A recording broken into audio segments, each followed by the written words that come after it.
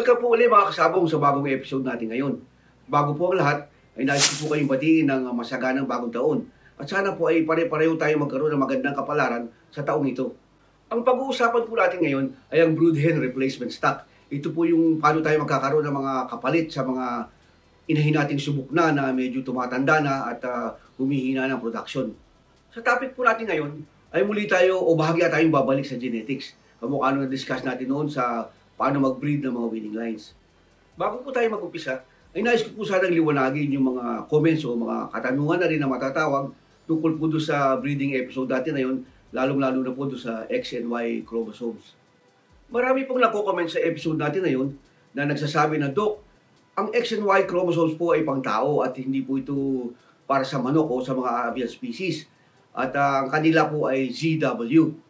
Naipaliwanag ko na po yun doon sa mga comment section na kung gusto nyo balikan at basahin na simula pa lang po ng show natin dito o ng videos natin dito sa YouTube, nabanggit ko na po na pipilitin ko po maipaliwanag ng uh, mas simple sa mga tao, sa mga common na mga sabugero o mga uh, nagpa-practice po ng uh, sabong o merong ganitong klaseng uh, negosyo. Nabanggit ko na po doon na yung pong X and Y chromosomes ay talagang pantao. Pero sa sampung tao na tatanungin mo, alam niyo ba po kung ano ang X and Y chromosomes? Siyam o sampu doon magsasabi, opo, narinig na po namin yung X and Y chromosomes. Pero pag tinanong niyo po na, ang ZW ba, alam niyo po, ang ZW chromosomes po, ay alam niyo ba? Malamang po na walang makakasagot sa inyo na alam nila at malamang na hindi pa nila nadinig yun. Pagdating naman sa ganitong bahagi ng uh, siyensya, eh sinasabi ko naman po na yung po mga letters na yan, X, Y, Z, W, ay assigned ano lang po yan, assigned uh, symbols.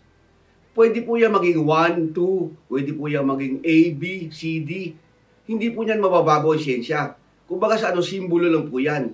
Kaya ginamit ko po yung XY dahil marami po nakakaalam nito. At uh, siyempre, mas madali lang maiintindihan. Pero ganun din po ang siyensya dito. Doon naman po sa sinasabi sa genetics na ang manok daw ay kabaliktaran ng tao at ang uh, anak na tandang ay mas malaki ang namamanang kaugalian sa broodcock o sa ama at uh, kabaliktaran po sa tao. Ito po ay para sa akin ay isang teorya.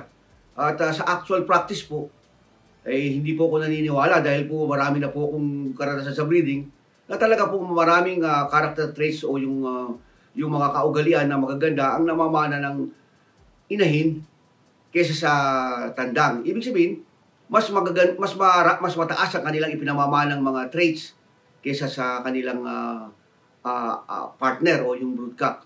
Meron din po mga nagsasabi na, Dok, bakit nabanggit mo na pag nagpalahi ka ng isang pares, isang brood hen at uh, broodcock, ang lalabas ay 50-50. Nabanggit ko nga po doon ay 50-50. At uh, ngayon, sinasabi nila, bakit sinasabi nyo ngayon na merong mataas ang porsyento na namamana sa inahin, mataas, mababa ang porsyento na namamana sa, sa tandang, bakit sabi nyo 50-50? Ibig sabihin nun, hati. Ganito po yun. Yung po sinasabi ko 50-50, sa bloodline po yun. Kapag nagpalahi kayo, example, isang sweater, yung broodcock, kelso yung uh, brood hen. Pag ipinalahin niyo po yun, yung lalabas ng anak, 50-50 na sweater, kelso. Sa bloodline po yun. Hindi po yun sa character traits. Pagdating po sa kaugalian, iba po. Para sa akin po, mas mataas ang namamaan ng mga magagandang kaugalian ng galing sa inahin. At uh, mas mababa ng konti sa sa brood, broodcock. Sa ganitong pagkakataon po, kung ang ginamit yung broodcock ay galing sa mana ng luglahi o yung mga winning lines, yung mga anak po nito na inahin ang malamang na magpasa o magdala ng magagandang kaugalian na ipamamana sa kanilang aanak yung mga tandang. Mabalik na po tayo ngayon sa topic natin para ngayong araw. Ito po yung uh, replacement stock ng mga brood hen. Tungkol po sa mga alibawa po na medyo nagkakaedad na po yung mga inahin nyo na mga winning lines at uh, bumababa na yung production, apektado na yung pangingitlog at pati na yung health nila, yung kalusugan nila, eh kailangan po na mga ilang taon pa lang o ilang mga buwan, kailangan po nagpe-prepare na po tayo ng mga replacement stock na gagamitin natin na inahin just in case na i-retire na natin yung mga winning lines natin. Para po mamantine o ma-maintain natin yung mga winning lines natin na linyada na mga ginagamit sa farm, ang gagawin po natin ay magbahagya po tayo ng mag-inbreeding. Ito po mga, mga inahin natin na nakakapag-produce pa na maganda at hindi pa talaga matatawag na laos, ay papalahi po natin sa kanilang mga mananalong mga anak. Ito po yung mga tinatawag na inbreeding po ito pero ang tawag po dito ay vertical back crossing. So, ilalahi po natin yung mga inahin na original doon po sa kanilang anak na tandang na mananalo rin at uh, mag inbreeding po tayo kapag ibinalik po natin ang uh, mananalong anak na tandang doon sa kanyang winning line na inahin, ay mas kakapal po ang uh, genetic composition nung original na linyada nila. Ang lalabas po na resulta sa back crossing na ito ay mga anak na magdadala ng 3 fourths o 75% na bloodline na manggagaling po doon sa original na winning line na inahin at uh, 1 fourth o 25% na lang doon sa original broodcock. Kapag nakapagpalabas na po tayo ng mga produkto galing sa back crossing na ito, ay palalakihin po natin sila na maayos at pagdating nila sa tamang edad, ay mamimili na po tayo. Ito po yung dadaan sa uh, magandang selection process at ang mapipili ay magiging mga replacement stocks natin na inhin na mga panibagong gagamitin natin sa pagpapalahi uli pero dala pa rin nila ang mga winning line na linyada. Ang mga napili pong mga inahin na galing sa back crossing na ito ay magandang i-cross out agad sa ibang linyada na winning lines din. So, hindi na po kailangang ibalik po uli o papalaputi pa yung dugo o inbreed pa uli. Tama na po yung sapat na po yung isang inbreeding na yun at uh, maganda sila i-cross out na sa winning line din. Maaring, maaring uh, line breed sa parehong lahi o crossbreed sa ibang lahi. Pero sapat na po yun para magkaroon po ng mga battle process. Para po sa akin, ito po mga replacement stocks na inhina nagawa natin sa, dahil nga sa back crossing ay mas magandang i-cross out sa mga broodcock na tested na o yung mga winning, winning lines na rin. At uh, para sa akin, hindi po magandang isubok sila sa mga basal, kahit pa imported, kahit pa magandang itsura, kung wala naman pong record ng panalo.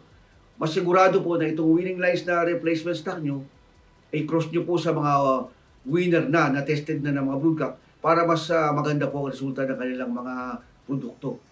Hindi rin po basta-basta winner na broodcock lang ang gagamitin natin sa mga inahin na ito. Dapat uh, yung broodcock na gagamitin natin bukod sa winner ay uh, galing sa solid na bloodline o yung mga kilalang bloodline na talagang lumalaban na sa bayan. At uh, kailangan din po, hindi, hanggat maaari, hindi sila maglalabas ng mga alanganing kulay o of colors. Hanggat maaari, ma-maintain nila yung, yung dati nilang kulay o yung kulay na hindi lalayo do sa original na kulay nila, para sa akin lang po. Malaking bagay din po na ang gagamitin yung broodcock sa kanila ay may mga magagandang karagdagang mga fighting style o estilo na maaring wala do sa original bloodline ninyo uh, para po makadagdag sa overall performance nila. At huwag po natin kalilimutan ang napakahalagang health medication program ng ating mga inahin bago pa sila isalang sa breeding. Unang-una po sa lahat ay ang pagbabakuna ito po yung pagbigay ng mga mahalagang uh, kinakailangang mga bakuna para mapaglabanan ng mga piste na siguradong uubos sa ating mga manok at masasayang lang po ang ating pinaghirapan. Ang pangalawa naman po ay ang medical maintenance.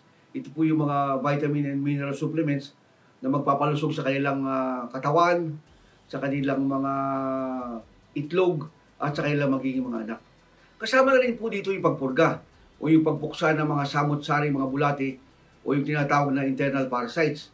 At yun naman pong paligo laban sa mga hanip at kuto. Ito naman po yung tinatawag na external parasites. Ito po yung mga malalaking balakid sa pagiging malusog at uh, masigla ng mga manok habang sila ay nangingitlog.